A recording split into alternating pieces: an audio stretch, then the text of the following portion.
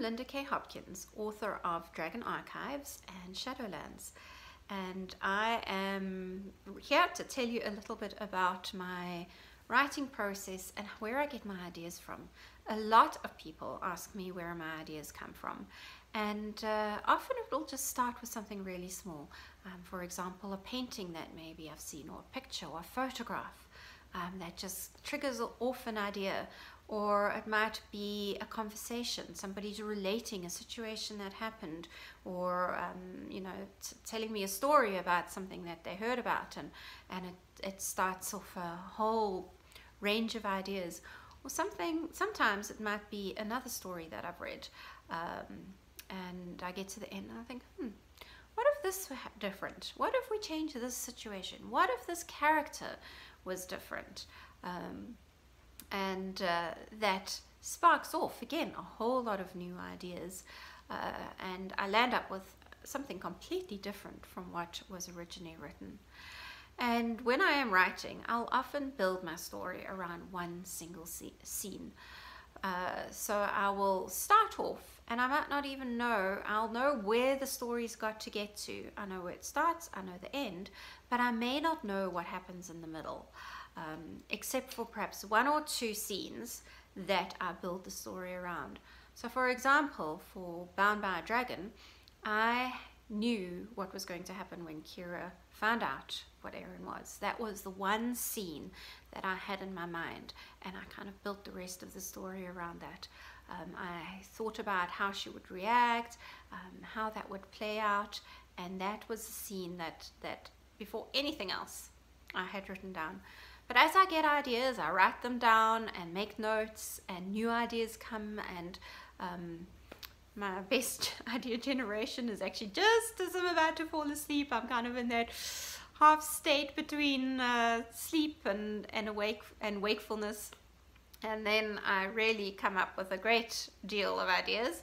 Sometimes I don't remember them in the morning because I need to actually jot them down. But uh, if it's a really good one, I'll repeat it over in my mind so that I re will remember it um, when I wake up again and can write it down. Um, so that is, you know, a little bit about how I come up with some ideas. Um, and then when I start writing, as I said, I often don't know how it's going to come out in the middle. I know the start, I know the ending.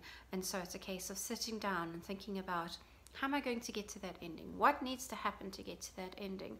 What developments need to happen? And again, I will have a number of scenes already um, thought out in my mind and plotted. I will write down particular scenes and, uh, and then I need to bring them together. So when I start a new book, I will already have those scenes in, in my mind or written down.